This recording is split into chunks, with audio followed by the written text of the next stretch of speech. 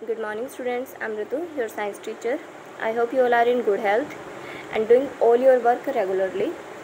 Today in this video we will perform activities which are based on our sixth chapter which is changes around us. By performing these activities we will understand the concept of reversible and irreversible changes. So our first activity start with a balloon. Take a balloon and blow it. As we can see, after blowing this balloon, its shape and size have changed. Now let the air escape the balloon.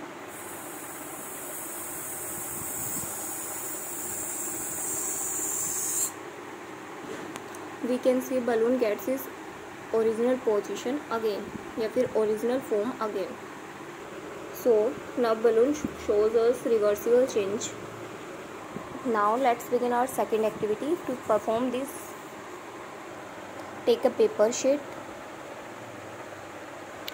fold it to make a paper aeroplane. You can make paper aeroplane like this. You may have lots of fun by flying this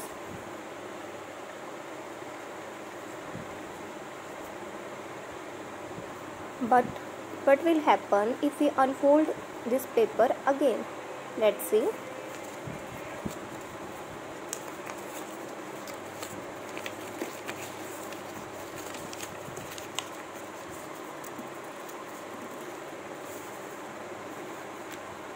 From this activity we can see that paper get back its original form again.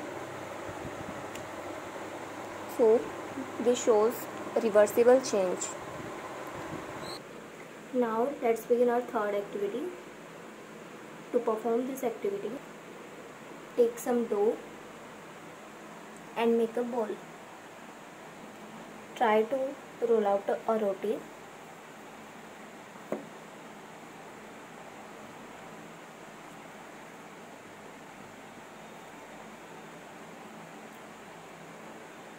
As we can say this roti don't have a good shape.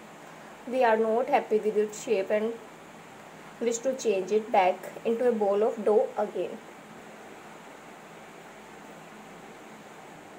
This time we made somewhat round shaped body roti. So by this activity we can demonstrate that it is also a reversible change so we can say reversible changes are the changes which can be reversed to get back the original form. Now let us repeat the same activities with a difference. I am taking the same paper which I used before. Now draw an aeroplane on it. Like this I have drawn an aeroplane. Now cut it along its outline as you can see I have cut this aeroplane shape from this paper. But now you can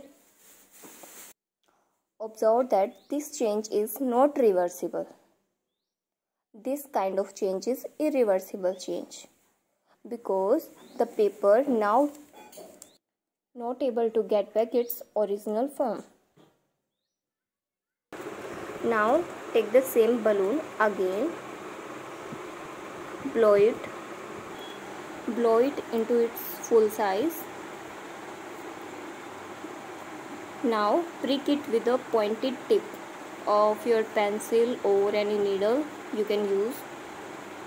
Let's do the activity.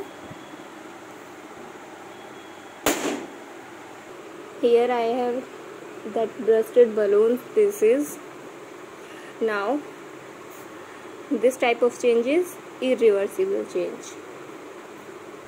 Roti which have we have rolled out from that dough we baked it. Uh, now as you all know roti looks like this. Once the roti is baked now it's not able to get its original form again as a dough so this kind of change is irreversible change. So irreversible changes are the change which cannot be reversed to get back its original form.